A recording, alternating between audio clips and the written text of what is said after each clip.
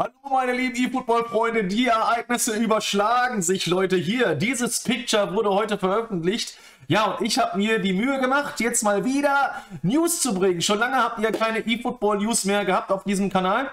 Aber heute hat Konami auf äh, deren offiziellen Homepage was zu eFootball 2023 veröffentlicht. Endlich. Es kommt ja so ein bisschen unerwartet, dass sie es jetzt schon auf 2023 updaten, das Game. Also damit hätte keiner gerechnet. Jeder hätte eher gesagt, so es kommt Season 3. Es kommt aber anders, als man denkt ist ja Konami.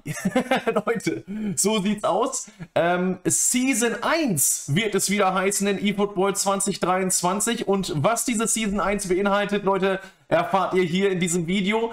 Wenn euch das gefällt, dass Chris Cross wieder eFootball News bringt, dann lasst an dieser Stelle doch gerne ein Like da, würde ich absolut feiern. Leute, die Chris Cross Army ist auf Twitch auch ordentlich am Representen äh, momentan, also kommt auch auf meinen Twitch-Kanal. Ja Leute, ihr seht hier auch 12 Stunden Stream ist geplant. Ihr habt es erreicht, indem ihr auf Twitch über 250 Abos dagelassen habt. Dafür nochmal ein herzliches Dankeschön und ich möchte es euch zurückgeben in Form von Entertainment und zwölf Stunden lang. eFootball 2023 Update Party am 25.08. 9 Uhr morgens geht schon los, Leute.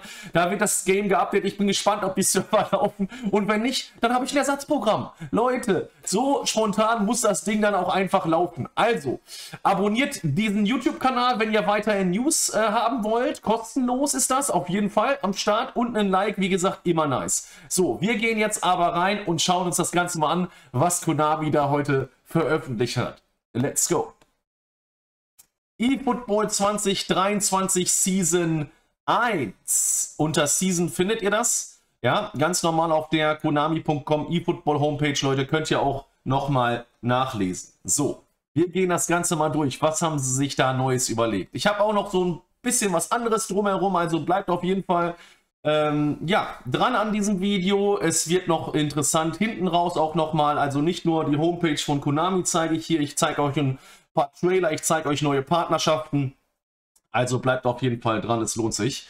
So, Season 2023 beginnt bald in eFootball World als Verstärkung für das ruhmreiche Star-Trio Lionel Messi, Neymar und Takefu Sa Kubo geben sich zwei neue weltweite Botschafter die Ehre in eFootball und führen das Spiel zu neuen Höhen. Der englische Star, dessen unvergleichliche Passgenauigkeit die Grenzen zwischen Verteidiger und Spielmacher verschwimmen lässt und der als bester Zuspieler des modernen Fußballs gilt und die portugiesische Sensation, die grandiose Erfolgsgekrönte Nummer 8, die in jedem Spiel mit vollem Körpereinsatz dabei ist und das Spiel perfekt lesen kann. Wir heißen Trent Alexander-Arnold und Bruno Fernandes in unserer eFootball-Familie willkommen. Leute, das freut mich besonders, was Alexander Arnold angeht. Ich spiele ihn ja, Leute, und bin mit ihm ja auch richtig krass in äh, Richtung Division 1 gegangen. Er ist einfach ein Flankenkönig, hinten rechts nicht mehr wegzudenken bei mir im Team. Leider in dieser Woche D-Form. Mal gucken, heute ist Update Day. Mal gucken, was er für eine Form hat. Ich kann Alexander Arnold wieder spielen, feiere ich. Nachher bei mir im Livestream. So, wir haben ihre Bewegungen und bekanntesten Tricks mit Hilfe von Motion Capture nachgebildet. So entwickelt sich das Gameplay gemeinsam mit dem Sport. Das finde ich geil. Also sie haben weiter ähm, gecaptured Sie haben Fußballer ähm, anhand ihrer Bewegungen, anhand ihrer Identität nachgestellt. Das werden sie jetzt vermehrt wieder machen und das bringen sie mit ein. Das feiere ich, Leute. Ihr könnt mal in die Kommentare hauen, was wünscht ihr euch noch in Zukunft von eFootball? Äh, wenn man das hier alles so liest und mitbekommt, sind sie ja erst am Anfang, Leute. Ne? Man muss das ganz klar sagen. Jetzt updaten sie das und dann kommt's immer, kommen immer weitere Updates. Wir können uns gleich nochmal anschauen und ich werde so ein bisschen meine Prognose dazu äußern, in, in, in, ähm, ja, so, einen kleinen Ausblick geben, äh, was kommt in der Zukunft noch, was erwarte ich von eFootball 2023, wo geht die Reise noch hin, darüber werden wir uns in diesem Video auch unterhalten. So, von Legenden, die sich bereits im Spiel verewigt haben, bis zu jungen Talenten, die dem Sport zu neuen Höhen verhelfen werden, erleben sie die grundlegenden Neuerungen der neuen Saison von eFootball 2023. Hier sind sie nochmal abgebildet. Ähm, zu den Trikots, Leute, der hat mir auch dieses schöne Trikot zukommen lassen. Ja, da kann man sich echt drüber streiten, ne? Was die Japaner da für einen Geschmack haben. Hauptsache bunt und flippig. Ähm, ich würde mal sagen, kein Bundesligist würde mit so einem Trikot auflaufen. Eure Kommentare dazu würde ich gerne mal wissen, Leute. Wie findet ihr diese Trikots? Wie findet ihr diese Farbgestaltung? Es ist gewöhnungsbedürftig. Immer dieses bunte, oh, diese verschwommenen Farben ineinander. Ähm, es lässt sich jetzt auch hier raus nicht ableiten, äh, welche Menüfarben das neue eFootball 2023 haben wird. Es wird in irgendeiner Art und Weise einen etwas anderen Style bekommen, denke ich. Ähm, aber ob es jetzt lila-gelb wird, ob es hier schwarz-lila-gelb wird, ob es sogar hier orange-lila wird, äh, keine Ahnung. Ne? Also lässt sich hier nicht ableiten. New Season, Kickoff, New Player Types and Licenses. Also das ist das Motto der neuen Season 1. Neue Saison hat bekommen, neuer Spielertyp, neue Lizenzen. Das Thema für die erste Saison lautet New Season, Kickoff, New Player Types and Licenses. Eine neue Saison bringt auch immer neue Spieler und Trainer sowie neue Wünsche und Träume für Vereine und Fans mit sich. Schnallen Sie sich an und erleben Sie die Rückkehr des Fußballs mit den neuesten Trikots und Spielerdaten. Ja, das ist ja äh, schon mal cool, dass sie es updaten werden. Also ein Lever ist, glaube ich, seit heute schon bei Barca, Leute. Und natürlich werden die ganzen ähm, ja, Spielertransfers über die Bühne gehen. Delikt wird bei Bayern sein und so weiter. Die neuesten Kits, die neuen Trikots werden eingefügt werden und so weiter. Das ist, das ist ja schon mal geil, ne?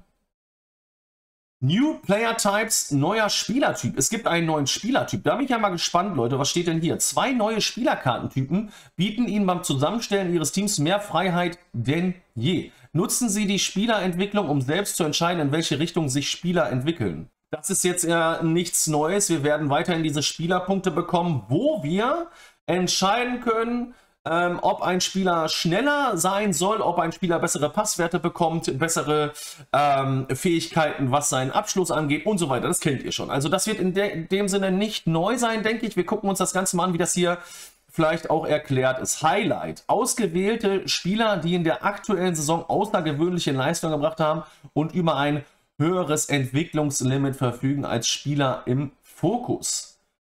Okay, also das sind nochmal Highlight-Player, Leute. Also ich muss auch sagen, ein 95er Bruno, der geht ja dann wahrscheinlich bis 99 steil. Oder jetzt hier ein Alexander Arnold von 96. Ich weiß nicht, ob das sein Endlevel ist, wenn man den ins Team reinholt mit einem Teamspielstil von äh, dann 100%, dann hat er wahrscheinlich eine 99 auf als RV. Also wir werden schon wieder Kader erleben, wo wir an die 100 drankommen. 199, das wird Standard sein. Und jetzt frage ich mich an dieser Stelle, was werden denn die Unterschiede zu den epischen Spielern sein? Wenn wir hier die epischen Spieler angucken, hier werden die prägenden Seasons von alten und neuen Größen gefeiert. Sie verfügen über ein höheres Entwicklungslimit als legendäre Spieler. Das heißt, das ist vergleichbar mit den Ikonen damals von PES. Wenn Sie sagen höheres Entwicklungslimit, dann wird es wahrscheinlich möglich sein, einen 96er Seedorf noch Richtung 99 zu pushen, sagen wir es mal. Mit einem 100er Teamspielstil hat er dann eine 102. Aber Seedorf und Snyder, Leute, die brauchen wir in unserem Team. Guck mal, mein Team, Junge. Ihr kennt's doch.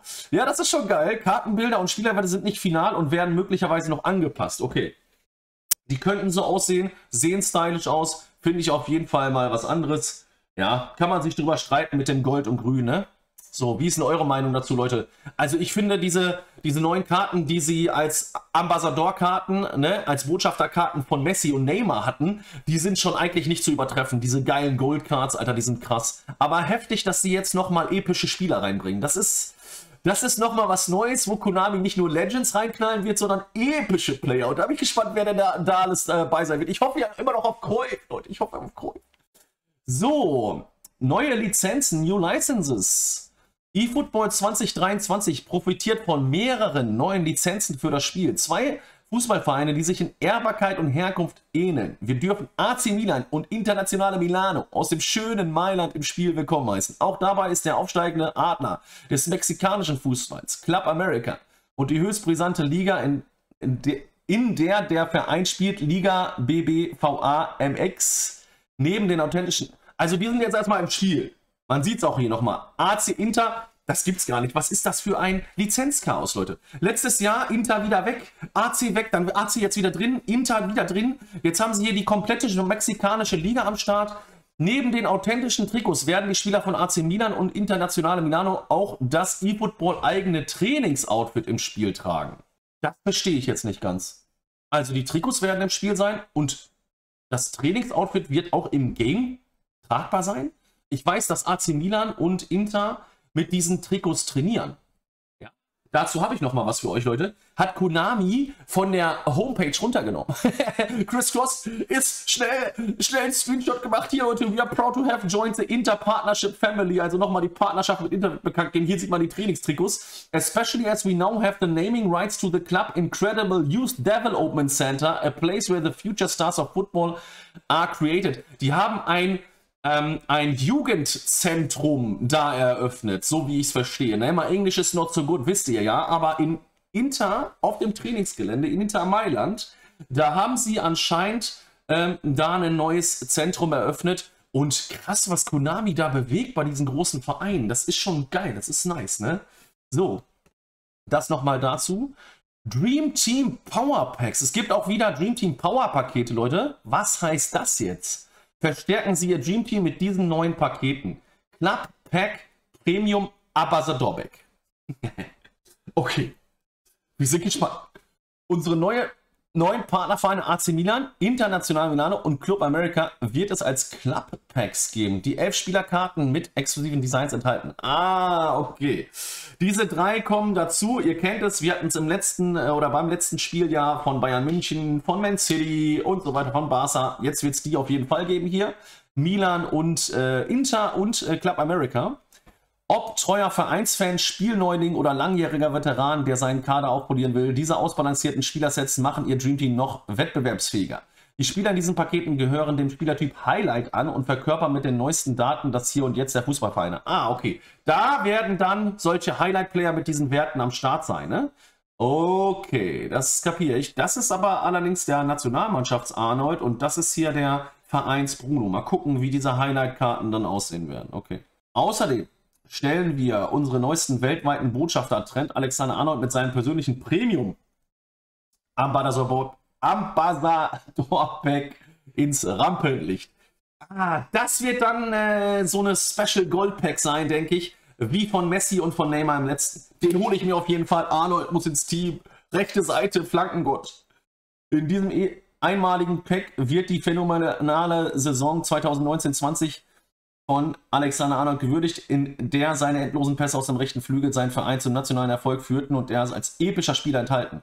Okay, er wird der epische Spieler sein. Zehn seiner besten Teamkollegen werden sich ihm als Highlight-Spieler anschließen. Also das Pack wird sich, denke ich mal, auf jeden Fall lohnen, Leute, weil es ja ein Liverpool-Pack wird. Das wird schon krass, wird sich auf jeden Fall gegönnt, denke ich. Unser anderer neuer Botschafter Bruno Fernandes wird im Herbst ebenso ein eigenes Pack bekommen, bleibt auf dem Laufenden. Ah, okay, das wird im Herbst erst dazugefügt, das heißt, es wird jetzt erst ein Dream Team Power Pack von Alexander Arnold geben. Manager Pack, das ist spannend. Damit noch nicht genug. Wir veröffentlichen außerdem ein Manager Pack, ein Set von Trainingsprogrammen, ein Set von Trainingsprogrammen sowie ein Trainer-Genie. Ah, Trainingsprogramme heißt, ähm, du bekommst in diesem Manager Pack auf jeden Fall diese EP Übungsleiter, diese EP-Trainingsübungsleiter, wo du die, äh, die Spieler mit trainieren kannst. Ne? Sowie ein Trainergenie, das für ihr Dreamteam die Zügel in die Hand nimmt. Johann Cruyff und Cannavaro sind bereit und wie gemacht dafür, ihr Dreamteam auf die nächste Stufe zu heben. Da bin ich mal gespannt. Also ich denke, dass Cannavaro und Cruyff entweder Trainer sein werden, die sehr teuer sind, die man sich mit Coins kaufen muss, oder mit sehr vielen GPs und die in jedem Spielstil vielleicht eine 99 haben, damit die Spieler, sag ich mal, höher gelevelt werden können. Ne? In, ja, ihr könnt mal in die Kommentare hauen, was ihr denn meint, Leute. Was meint ihr denn dazu?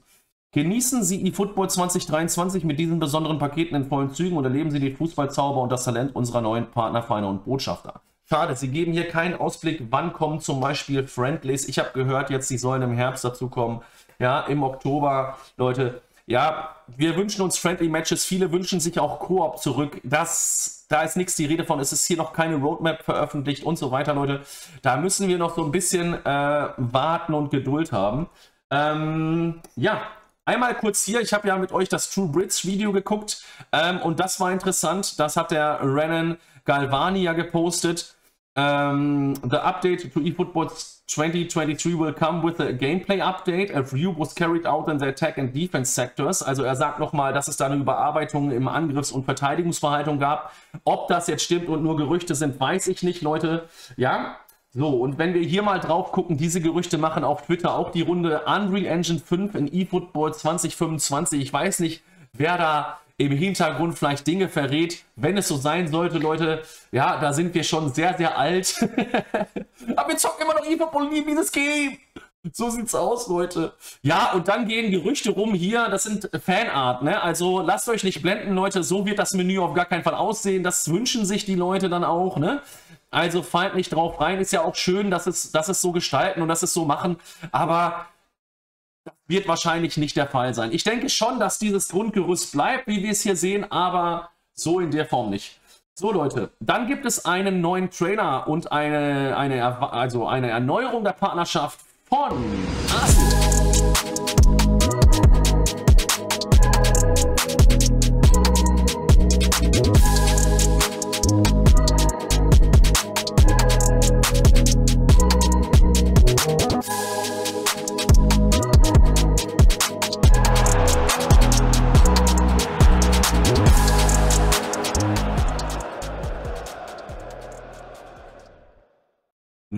London is red, my friends. North London is red.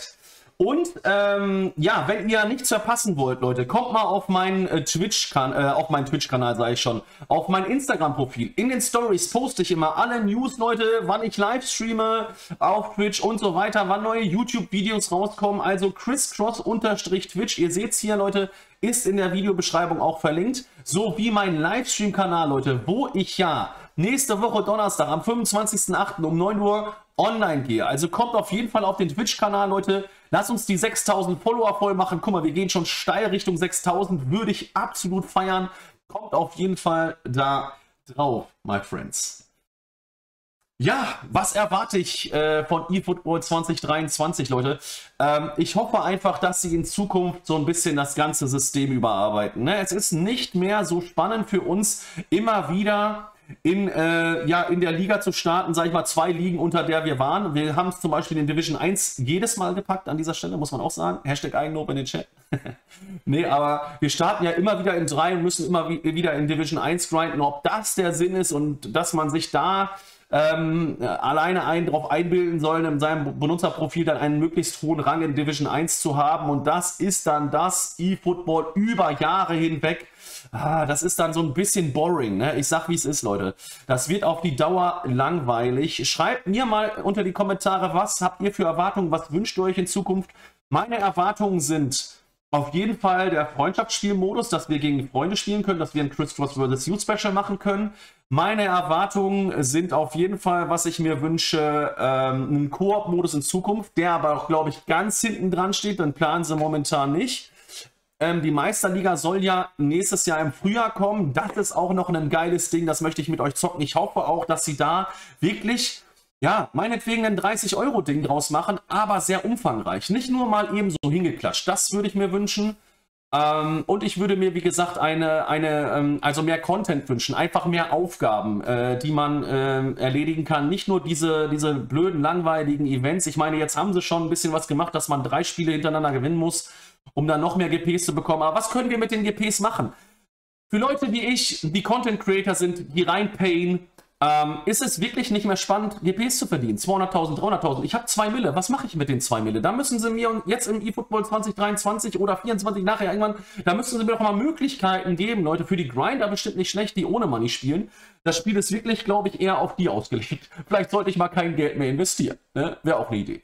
Leute, Merkt euch das 12-Stunden-Stream auf meinem Twitch-Kanal immer die Glocke auch an, hier die Glocke an, überall Glocken an. Das muss richtig läuten jetzt in der nächsten Zeit. Leute, dann verpasst ihr nichts, Alter. Ja, ist einfach so. Kommt auf meine Channels, Leute. Ne? Lasst an dieser Stelle noch ein Like für dieses Video da. Ich bin immer für euch da. Ich werde auch eFootball treu bleiben, Leute. Einige ne, machen ja, ja einen Abflug in Richtung FIFA. Ich nicht. Chris Cross Bleibt bei eFootball, Leute. Ich habe schon gesagt, ich hänge mich ans Grab dran. Ne? Rest in Peace. und ich bin dabei auf dem Friedhof, Leute. Ja, auch wenn das so ausschaut, dass das Grab schon ausgeschaufelt äh, wird. eFootball bringt immer wieder was Neues und Konami überrascht uns hoffentlich in der Zukunft mal im positiven Sinne, Leute. Macht's gut, my friends. Haut rein und ciao, ciao. Euer Chris Cross. Ciao,